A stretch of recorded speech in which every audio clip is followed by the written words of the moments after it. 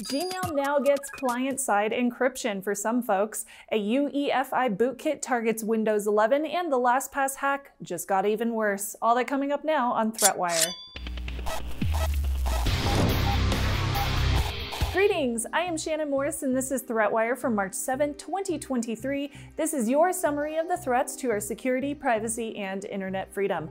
Let's go ahead and jump right into the news this week. Google is now offering client-side encryption for Gmail and Calendar users with Workspace Enterprise Plus, Education Plus, and Education Standard accounts. CSE for short in Gmail allows for sensitive data in an email body, including any images that are within that body, or attachments to an email to be encrypted before being sent out to Google's Gmail servers in order to be sent to the recipient. CSE does not include the email header like the subject line or the recipient's address. For Calendar, CSE encrypts the event description, attached files, and Meet audio and video streams, but it does not include the event title, attendees, joined by phone numbers, or the Meet link if using Google Meet. Unlike end-to-end -end encryption, CSE can still allow a company admin or the IT team to decrypt the messages, which can be used for data retention or specific company policies. CSE from Google was first made available and in beta last year for Google Docs, Google Sheets, Drive, Google Meet, and Slides. This move expands that encryption to Gmail as well. Now this update can allow users to collaborate with their coworkers or external clients while IT and security teams are able to keep sensitive data within compliance for regulators.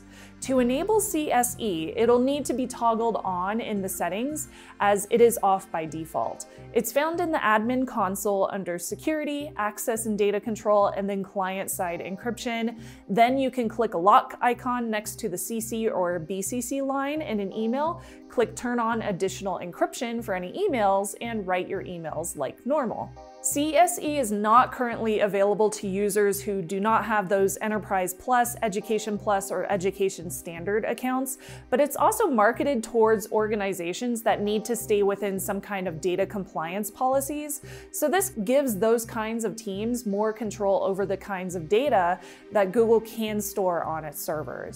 For the first time ever, a UEFI bootkit has successfully infected a fully patched Windows 11 system. Now, I will be using the pronunciation UFI just to let everybody out there know, for the Unified Extensible Firmware Interface for this video to keep it more compact. Now this is software that boots up within your PC when it starts up, and it allows you to control the boot sequence before the OS starts. Last year, the Black Lotus UFI malware popped up on hacker forums, and the seller claimed that it had strong persistence and antiviruses cannot scan for it or remove it. Security firm ESET or ESET found out that this was indeed true, as it bypasses the secure boot using a vulnerability which is tracked as CVE 2022-21894. Exploiting this vulnerability specifically leads to the secure boot bypass and persistence. It loads unsigned kernel code and it modifies the boot chain and the hardware component for Windows 11 machines, which is called the Trusted Platform Module or TPM, ends up not being triggered. Since its inception, Black Lotus has gotten some upgrades. Now it can bypass the secure boot capabilities on Windows 11, which means that it will disable the security that comes with that operating system. This means that it can hide itself from defenses like Windows Defender and the memory integrity module called the Hypervisor Protected Code Integrity, which is used to protect the Windows kernel from attacks. It can also disable BitLocker data protections, and once installed, it works like an HTTP downloader, sending data to a command and control server, which is run by the attacker, and loading up other payloads on the victim's machines. UEFI bootkits used in the wild are kind of rare and only a few officially happening throughout the years. Biggest of shoutouts to my Patreon supporters, especially my golden s'mores and their fur babies, for making this show possible since we don't have ads on the show at all, except for Patreon. Thank you so much to Russell. Hi, Russell. Paolo. Hi, Paolo. Randy, Joe, Aunt Sandy, Michael, and Kim. I know so many people in this lineup for being a part of the s'mores at patreon.com slash Morse. Thank you so much. I love you all. This is my new Patreon page for the show where I will be posting all of the perks for patrons, including early access to this video. So if you are currently a Patreon on the ThreatWire page, you can switch over to the new page so you don't lose access to your perks. My YouTube channel is youtube.com slash Shannon for everything from tech reviews to security tutorials. I am super close to 100,000 subscribers, y'all. This is really exciting. Uh, I also have a new video about my favorite password managers on the channel, so definitely check it out. I also recently talked about um, cookies and uh, session hijacking and all sorts of fun stuff. Don't forget to like and subscribe to Hak5 as well.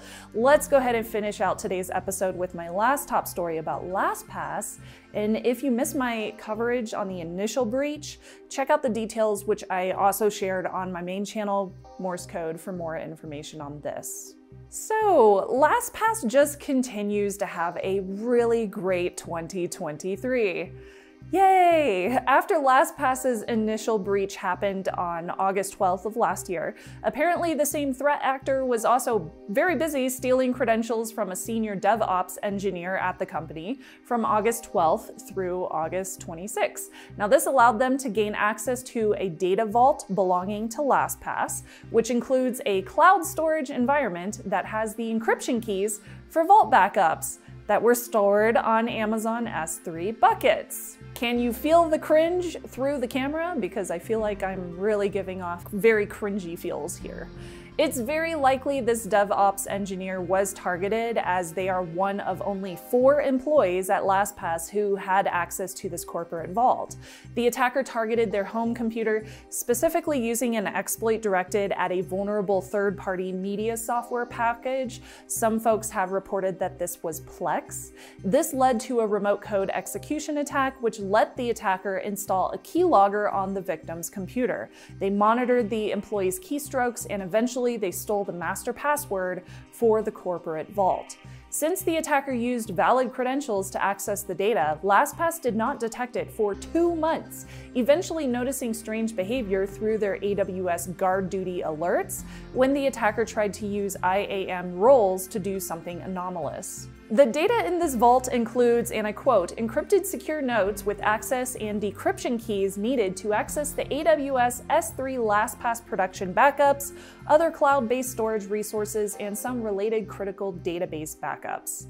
So due to this, LastPass worked with the DevOps employee to harden their own home security. They've upgraded the MFA by adding Microsoft's conditional access pin matching MFA, and they are rotating, quote, critical and high privilege passwords for internal use. So how does this affect customers? Well, currently LastPass is recommending users change their master password and enable MFA if it's not already in use, and change all the passwords for accounts stored in your vault. My recommendation is to switch to a new password manager, of which I have made many videos discussing my favorites and more secure options. I've also included options like local storage password managers, which is a wonderful option in my opinion opinion. That's it for today. Thank you so much. I'm Shannon Morse, and I will see you on the internet.